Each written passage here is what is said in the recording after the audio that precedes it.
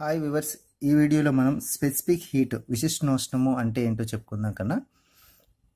అసలు specific heat అంటే ఏమిటి? స్పెసిఫిక్ హీట్ అంటే కన్నా ఒక గ్రామ్ సబ్స్టెన్స్ ఒక పదార్థాన్ని మనం తీసుకున్నాం అనుకోండి ఒక గ్రామ్ తీసుకుంటే వన్ గ్రామ్నే మన డెఫినేషన్ చెప్పేటప్పుడు వన్ యూనిట్ మాస్ అని చెప్పేసి అంటూ ఉంటాం కన్నా వచ్చి ఓకే ఇప్పుడు సపోజ్ ఇది మనకి ట్వంటీ సెవెన్ డిగ్రీ సెల్సియస్ దగ్గర ఉందనుకోండి ఓకే దీన్ని వన్ డిగ్రీ పెంచాలి. దీన్ని వన్ డిగ్రీ ఇంక్రీజ్ చేయాలి. వన్ డిగ్రీ ఇంక్రీజ్ చేస్తే ఎంత అవుతుంది ట్వంటీ ఎయిట్ డిగ్రీ సెల్సియస్ అవుతుంది.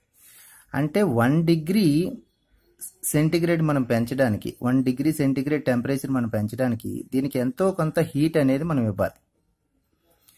వన్ డిగ్రీ సెంటిగ్రేడ్ టెంపరేచర్ పెంచడానికి దీనికి ఇచ్చేటటువంటి దీనికి ఇచ్చేటటువంటి హీట్ అనేది ఎంతైతే ఉంటుందో ఆ హీట్నే మనం స్పెసిఫిక్ హీట్ అని చెప్పేసి అంటాం కదా. అంటే దీనికి ఆల్రెడీ ఎంత టెంపరేచర్ ఉందో మన పక్కన మనకు తెలియదు కాబట్టి సపోజ్ ట్వంటీ సెవెన్ అనుకున్నాం దాన్ని ఒక డిగ్రీ సెంటిగ్రేడ్ పెంచడానికి అవసరమైనటువంటి హీట్ అంటే దీనికి ఇచ్చేటటువంటి హీట్ అనొచ్చు లేదా అవసరమైనటువంటి హీట్ని మనం ఏమంటాం అంటే స్పెసిఫిక్ హీట్గా చెప్తాం కన్నా వచ్చి ఓకే? డెఫినేషన్ చూసినట్టయితే required heat energy raise the one degree temperature of unit mass of ఈ substance is called specific heat this is denoted by S అంటే అర్థం ఏంటంటే సేమ్ నేను ఇప్పుడు చెప్పాను కదా ద రిక్వైర్డ్ హీట్ ఎనర్జీ అవసరమైన హీట్ ఎనర్జీ దేనికోసం? Raise one degree centigrade temperature of unit mass unit mass అంటే వన్ గ్రామ్ మాస్ అనమాట వన్ గ్రామ్ ఉండేటటువంటి ఒక వస్తువుని ఈ యొక్క టెంపరేచర్ ఒక డిగ్రీ పెంచడానికి అవసరమైనటువంటి హీట్ని మనం ఏమంటామంటే స్పెసిఫిక్ హీట్గా చెప్పడం అనేది జరుగుతుంది కన్నా వచ్చి. ఓకే ఇక్కడ టూ జార్స్ మనం తీసుకున్నాం కన్నా ఒక దాంట్లోని తక్కువ పర్సంటేజ్లో వాటర్ తీసుకున్నాం. ఒక దాంట్లో ఎక్కువ నీరు తీసుకోవడం జరిగింది. అయితే ఇప్పుడు నేను ఇదేంటంటే room temperature suppose twenty degree centigrade దగ్గర వాటర్ అనేది ఉంది. ఇది కూడా ట్వంటీ సెవెన్ డిగ్రీస్ దగ్గర ఉందనుకుందాం అయితే ఇప్పుడు ఏంటంటే కన్నా దీన్ని ట్వంటీ నైన్ డిగ్రీస్కి రేజ్ చేయాలనుకుంటున్నాను టెంపరేచర్ని దీన్ని కూడా ట్వంటీ నైన్ డిగ్రీస్కి సెంటిగ్రేడ్కి రేజ్ చేయాలనుకుంటున్నాను. అప్పుడు దీనికి నేను కొద్దిగా హీట్ అనేది ఇస్తున్నాను కింద. అంటే ఎక్కడొక్కడ దేని మీద సరే వేడి చేస్తున్నాను. హీట్ ఇవ్వడం అంటే వేడి చేస్తున్నాను. దీన్ని వేడి చేస్తున్నాను. అయితే ఇక్కడ మీరు ఒకటి అబ్జర్వ్ చేయాలి. ఏంటని అడిగితే కన్నా ఇది కొద్ది టైంలోనే ఎలా మనం వేడి చేస్తున్న కొద్ది సమయానికే ఇది ట్వంటీ ఫైవ్ డిగ్రీస్కి టెంపరేచర్ చూస్తే ట్వంటీ నైన్ డిగ్రీ సెంటిగ్రేడ్ పెరిగిపోయింది థర్మోమీటర్ పెట్టి చూస్తే.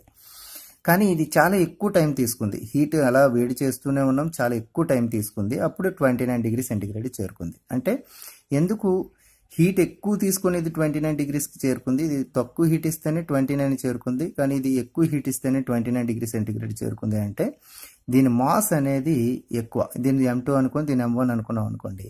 ఎం వన్ దీని మాస్ కంటే ఎం టూ మాస్ అనేది ఎక్కువ. ఎం టూ మాస్ అనేది ఎక్కువ. అంటే దీని యొక్క మాస్ ఎక్కువగా ఉన్నప్పుడు ఆటోమేటిక్గా ఇచ్చే హీటు కూడా తీసుకునే హీటు కూడా అది ఎక్కువగా ఉంటుంది. రెండు ట్వంటీ నైన్ డిగ్రీ సెంటిగ్రేడ్ దగ్గరే ఉన్నాయి. కానీ మనం అబ్జర్వ్ చేసేది ఏంటి తక్కువ ఉన్నప్పుడు ఇది ట్వంటీ నైన్కి ఇది ట్వంటీ నైన్కి తీసుకెళ్ళాలి. కానీ దీనికి తక్కువ హీట్ ఇస్తే ట్వంటీ నైన్కి వెళ్ళిపోయింది. దీనికి ఎక్కువ హీట్ తీసుకొని అప్పుడు ట్వంటీ నైన్కి వెళ్ళింది. అంటే మాస్ పెరిగితే హీట్ కూడా ఎక్కువ తీసుకుంటుంది అనేది మనకు అర్థమవుతుంది. అంటే అర్థం ఏంటి? M proportional to sorry sorry Q proportional to M అంటే ఎం క్యూ పెరిగినట్టయితే ఎం సారీ ఎం పెరిగినట్టయితే క్యూ కూడా ఎక్కువ తీసుకుంటుంది. అంటే మాస్ పెరిగినప్పుడు అది తీసుకునే హీట్ కూడా ఎక్కువగా ఉంటుంది. ఎక్కడ? Constant constant temperature constant temperature temperature కాన్స్టెంట్గా ఉన్నప్పుడు మనకి క్యూ పెరిగినప్పుడు సారీ ఎం పెరిగినప్పుడు క్యూ కూడా క్యూ అంటే హీట్ కన్నా ఇచ్చే హీట్ కూడా ఎక్కువ తీసుకుంటుంది. మాస్ పెరిగినప్పుడు తీసుకునే హీట్ కూడా ఎక్కువగానే తీసుకోవడం జరుగుతుంది అన్నమాట ఇప్పుడు ఏంటంటే కన్నా మాస్ రెండింటికి ఒకటే. ఇది ఎం వన్ ఇది సారీ ఇది ఎం వన్ ఇది ఎం టూ అనుకుంటే M one equals to M two అంటే రెండు మాసులు ఒకటే అనుకుందాం సపోజ్ మాసులు రెండు ఒకటే అనుకుందాం. ఓకే కాన్స్టెంట్ మాస్ అంటారు. అప్పుడు ఏమంటారు కాన్స్టెంట్ మాస్ అంటే మాస్ కాన్స్టెంట్గా ఉందని అర్థం. Constant mass. మాస్ మాత్రం రెండింటికి ఒకటే అని అర్థం అనమాట అప్పుడు దీనికి హీట్ ఇస్తూ ఉంటే టెంపరేచర్ దీనికి ఎంత పెరుగుతుందో దీనికి హీట్ ఇస్తుంటే దీని టెంపరేచర్ కూడా అంతే పెరుగుతుంది. ఎందుకని? మాస్ రెండు ఈక్వల్ కాబట్టి. అంటే అర్థం ఏంటంటే హీట్ ఇచ్చే కొద్ది టెంపరేచర్ ఏమవుతుంది కన్నా? పెరుగుతుంది. ఎస్ అంటే దాన్ని ఎలా రాస్తారంటే క్యూ ప్రపోర్షనల్ టు టీ అని రాస్తారు. ఎక్కడ? కాన్స్టెంట్ మాస్ దగ్గర Q proportional to T constant temperature దగ్గర క్యూ ప్రపోర్షనల్ టు ఎం అంటే ఈ రెండింటిని కలిపి మనం ఎలా రాయొచ్చు కన్నా? ఈ రెండింటిని కలిపి చూడండి. క్యూ ప్రపోర్షనల్ టు టీ ఇది క్యూ ప్రపోర్షనల్ టు ఎం కాబట్టి రెండింటిని కలిపి క్యూ ప్రపోర్షనల్ టు ఎంటీ అని రాయొచ్చు. అంటే టీనే మనం డెల్టా టీ అని కూడా రాయొచ్చు. చేంజ్ ఆఫ్ టెంపరేచర్ అంటారు. అంటే టెంపరేచర్ చేంజ్ అవుతుంది అని చెప్పడం అనమాట చేంజ్ ఆఫ్ టెంపరేచర్ ఎందుకంటే హీట్ పెంచినప్పుడు టెంపరేచర్ చేంజ్ అయింది కదా. అదే చెప్పడం. చేంజ్ ఆఫ్ టెంపరేచర్ టీ అని రాస్తారు వచ్చి. ఓకే ఇప్పుడు వచ్చి ఇక్కడ Q equals to S M delta T అంటే ఎస్ అనేది ఏంటంటే కాన్స్టెంట్ కన్నా దీన్ని స్పెసిఫిక్ హీట్ అంటారు. స్పెసిఫిక్ హీట్ అంటారు కన్నా. అంటే ఎస్ కావాలంటే మనం ఏం చేస్తాం? యువతల నుంచి చివతలకు తీసుకెళ్ళిపోతాం. Q by M delta T equals to S ఓకేనా కన్నా? ఇది మీకు అర్థమైంది వచ్చి.